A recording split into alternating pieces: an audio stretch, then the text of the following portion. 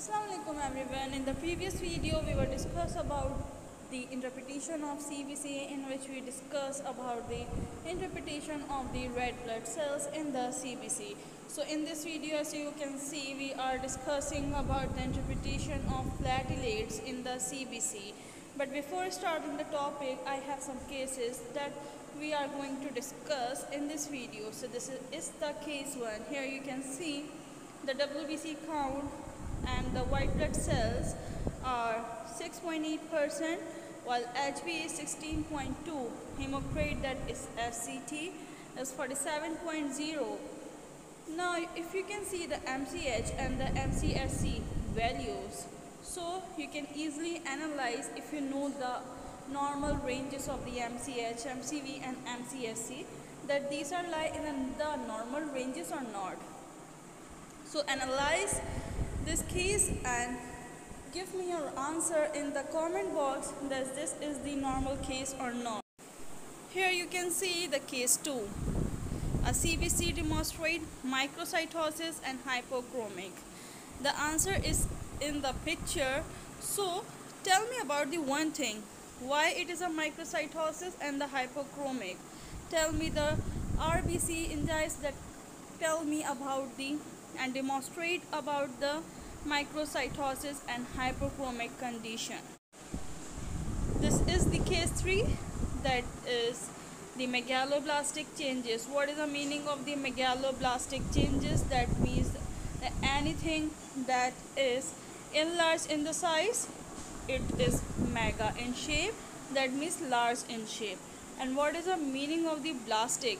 Blastic means immature cells. So which parameter tell us about the megaloblastic changes? This is obviously the MCV. Here you can see the value of MCV which is very very large than its normal range. So this is the megaloblastic change. Now what are the platelets? Platelets are the thrombocytes and this is the topic of the today's lecture. Role in the cessation of the bleeding. Its reference range is 1 lakh 50,000 to 4 lakh 50,000 and its life is 1 to 2 week easily miscounted manual and automatic that's why we count it manually now the conditions that can be caused by the elevation of its levels that are the platelets thrombocytopenia. Thrombocytopenia are caused by the many of the conditions that are hypersplenism hemorrhage bone marrow destruction dic and anemia. Thrombocytosis as i described previously the word cytosis indicate large number count of the particular blood cells. So the thrombocytosis means platelets that are not in normal range. It's obviously greater than the normal range. And these are some conditions that causes the thrombocytosis. These are the exercise, high altitude, splenectomy and RA that is a rheumatoid arthritis thrombocytopenia obviously when you have the less number of the platelets ultimately the risk of the bleeding increases.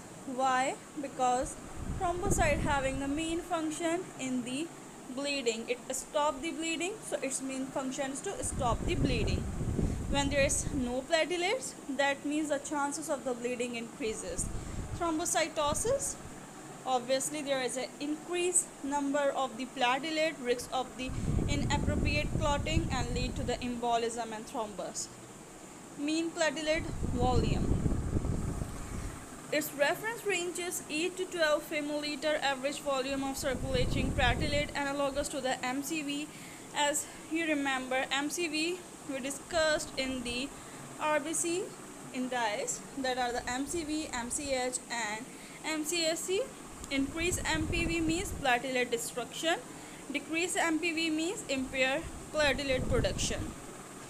Now this is the what the result look like when you run the blood in the automatic CBC analyzer. Platelet count, normal platelet count are in the range of the 1000 sorry 1 lakh 50,000 to 4 lakh per microliter but the normal range for the platelet count varies slightly among the different laboratories because each laboratory have different systems so each system have different ranges Thrombocytopenia is reported in the neonate with the bacterial, fungal, and bacterial protozoal and viral infections. Some patients with the bacterial septicemia may develop the coagulopathy associated with DIC. Mean platelet volume, typical range of platelet volume is 9.7 to 12.8 femiliter.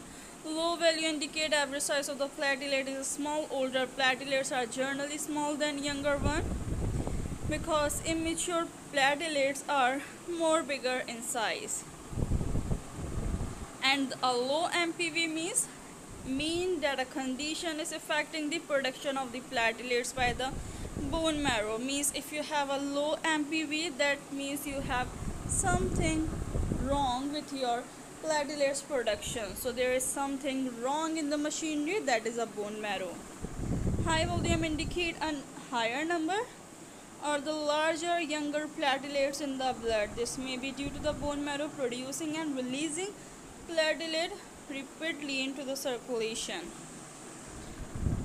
PDW. A high PDW may increase variation in the size of the platelet which may mean that the condition is present that is affecting the platelets and that's all with this video and the interpretation of platelets in the CBC